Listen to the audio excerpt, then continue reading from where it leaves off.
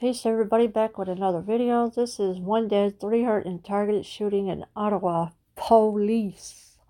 And as you can see here in the video that the police are at the crime scene. One person was killed and three were seriously wounded from a shooting in Ottawa, Canada. Wednesday morning that police said was targeted. So yeah, so the police went to a shooting um, crime scene, and of course, Wednesday morning, that police said was targeted. Um, one person was killed, and three were seriously wounded from a shooting in Ottawa, Canada. The suspect in the shooting in the busy Centretown section of Canada's capital city is still at large, prompting a massive manhunt, authorities said. Yes, so there is a massive manhunt for the um, person who allegedly did all this.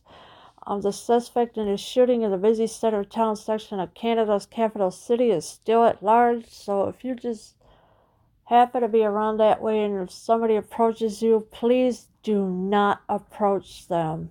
Do not approach them. Call the police right away. The scene is secure and this is not considered an active shooter situation, officials said. So the, this is not a, considered an active shooter at this time, the officials are saying. Here is the screenshot of the crime scene that happened in Ottawa, Canada. And the police are investigating, as you can see here. At this time, there is no suspect in custody. However, investigators believe that the shooting was targeted Ottawa Police Department officials said in a statement on Twitter. So they took to Twitter, they tweeted out what you see here that there is no suspect in custody. And of course, inf- investigators believe that the shooter was the shooting was targeted, as you can see here. The shooting took place on Gilmour Street at about 7:30 a.m. local time. Additional details were not immediately available. Yes, so any details they had they were supposed to have they're not available at this time. Um, it happened around 7:30 local time this morning, um, and it was also on Gilmour Street.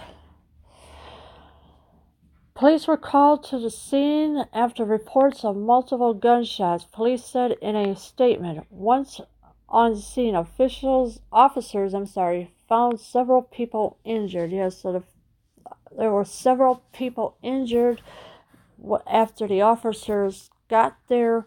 Um, police were called to the scene, and of course, after reports of multiple gunshot wounds.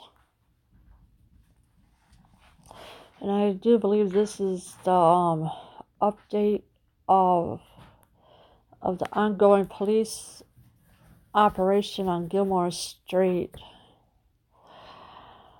The Ottawa Police Major Crime Unit is pleading with the public to help its investigators identify the suspect, saying in a statement, There is no suspect description available at this time, so nobody knows who the person is. Um, but they're as they're pleading with the public's public to help its investigators identify the suspect. I'm saying in a statement, there is no suspect description available at this time either. And of course, here in the screenshot, as you can see, the crime scene. The major crime investigators have confirmed that there are no national security implications related to this incident the statement reads. Yeah, so there was no, they have confirmed that there are no national security implications at this time related to this incident. And this is what the statement read.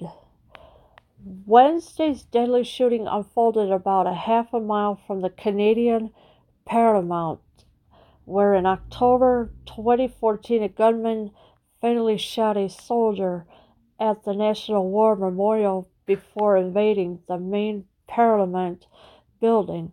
The suspect, 32 year old Michael Zehaf was shot to death by police. Yeah, so this happened around from a half a mile from the Canadian Parliament, um, where in October 2014 a gunman fatally shot a soldier at the National War Memorial before invading the main Parliament building. Um, the suspect was 32 year old Michael Zahav Babil was shot to death by police. So this is ha- that's what happened in 2014, but who knows who it is this time in Ottawa.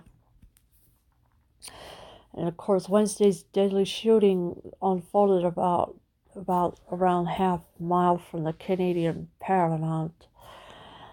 Uh, my condolences are to the family of the one person who was killed, and I'm sorry for their loss. Leave your comments below. I am out.